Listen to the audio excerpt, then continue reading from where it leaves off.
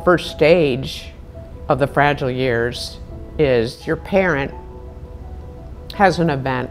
Now maybe they maybe they have a fender bender, maybe they run a stop sign, maybe they eat some expired food in the fridge.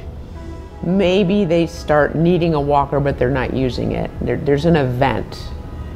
And that's the beginning.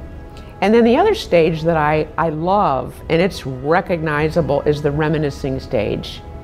They're, they're sharing, they're communicating, they're telling stories of their high school, they're talking about the guys they were in the war with, they're sharing the story of your birth. And it's a stage, and they're reviewing their life. They're going through and processing everything that happened in their life. And then they start needing help.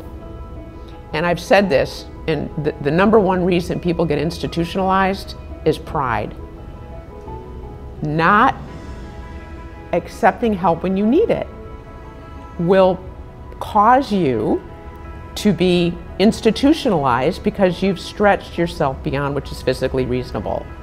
You know, you, you, the guy that goes up the ladder to fix his roof and he's 90 and he falls off the ladder. That, that's an extreme example, but I watched my dad accept help from me when he grabbed my arm. And that told me, and it taught me as a daughter, oh, this is how it goes. He put his pride down and he let me help him walk. So everybody goes through that stage where they need help and then and then finding that soft place to land. Whether it's at home with full-time help, whether it's in a community, and then, and then the last stage, I call it end of life. People think end of life, oh, it's hospice and you're, you're actively dying. End of life is really like a year of, you know, I'm on my way out, but it's gradual. It's soft and it's gentle.